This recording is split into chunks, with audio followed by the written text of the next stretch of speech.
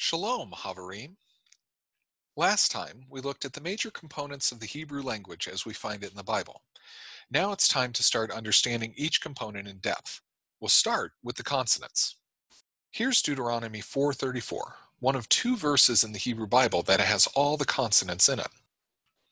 The first appearance of each consonant is highlighted here. Let's take out the vowel signs, accent marks, and other verse markings to get down to the consonants themselves. When all those other elements are removed, the text is still readable to an experienced Hebrew student or to a native speaker. Hebrew has 22 or 23 consonants, depending on how a certain set of letters is understood. Let's number them to get a sense of where we'll go from here. Understandably, the first appearance of each consonant in the verse tends to crowd to the beginning of the verse. Let's look at each consonant in its alphabetic order, though.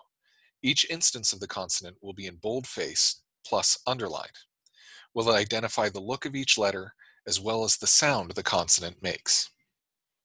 Aleph is the first consonant in the verse and also the first in the Hebrew alphabet. While that might make us think it is similar to the letter A that starts the English alphabet, that actually isn't the case. Aleph is a consonant, not a vowel. However, it has no sound. It is a silent letter. This means that all you pronounce with Aleph is the vowel mark associated with it. Sometimes, especially when it ends a syllable, Aleph will have no vowel and so will be absolutely silent. This is called quiescence. Bet is the second letter in the Hebrew alphabet. It can have two sounds, a hard B, as in boy, or V, as in Victor. Normally, when the bet is preceded by a vowel sound, it will sound like a V.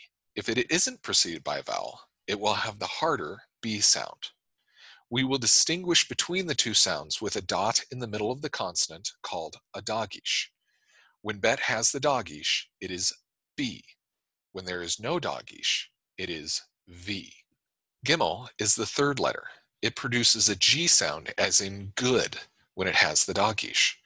When there is no dagesh, it may have a G sound as in ghost. However, in practice, it is pronounced the same way as with the dagesh. Dalet is the fourth letter. It produces a D sound, as in dog, when it has the dagesh. When there is no dagesh, it may have a DH sound, as the th in this. However, in practice, it is pronounced the same way as with the dagesh. Hey is the fifth letter. It produces an H sound, as in hey. If it is on the end of a word, it often produces an ah sound. When it does this, it is called a vowel carrier.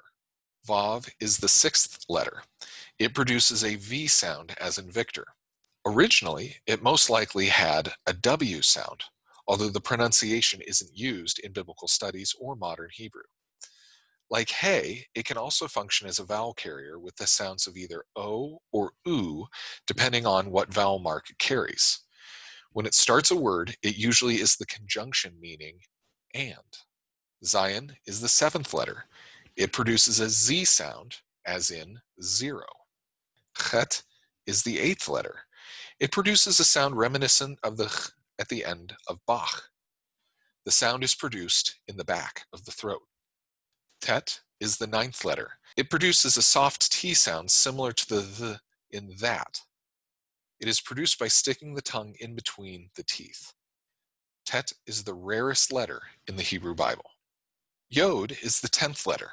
It produces a Y sound, as in yes. It is, like Hey and Vav, a vowel carrier that can make the sounds E as in machine or A as in they, depending on the vowel mark associated with it. Kaf is the 11th letter. It produces a hard K sound, as in king, when it has the dagesh. When there is no dagesh, it produces a slight sound, once again, as in Bach although a little softer than chet. This is the first letter in the Hebrew alphabet to have a final form. The letter will look different when it is the last letter in a word, as we can see in the final letter of this verse. Lamed is the 12th letter. It produces an L sound, as in layer. Mem is the 13th letter. It produces an M sound, as in mom. It also has a final form. Nun is the 14th letter. It produces an N sound as in noon. It also has a final form. Samek is the 15th letter. It produces an S sound as in silo. It is one of three S sounds in the Hebrew language. Ayin is the 16th letter. It produces a glottal stop, like the sound made between the two T's in bottle. However, it is often left unpronounced, like Aleph. Pe is the 17th letter. It produces a hard P sound like pony when there is a dagesh present. It produces an F or PH sound, as in Philly, when the dagesh is absent. Pe also has a final form. Sade is the 18th letter. It produces a TS sound, as in sheets. It has a final form. Kof is the 19th letter. It produces a Q sound, as in got. There is no U sound that must follow it, though, as we have in English. Resh is the 20th letter. It produces an R sound, as in rush. The 21st letter is sometimes thought of as two letters, shin and sin, or sometimes pronounced seen. Shin has a dot on the right side of the top of the letter, producing an SH sound, as in shed. Sin has a dot on the left side, producing an S sound, as in sign. The best way to remember the difference? Well, sin is never right. Tav is the 22nd and last letter of the Hebrew alphabet. In contrast to Tet, it produces a hard T sound, as in tank, when it has the dagesh. When it doesn't, it can take a softer TH sound, as in thought. However, in practice, Tav sounds like a hard T with or without the dagesh. Now we've seen all the consonants of the Hebrew alphabet in this passage.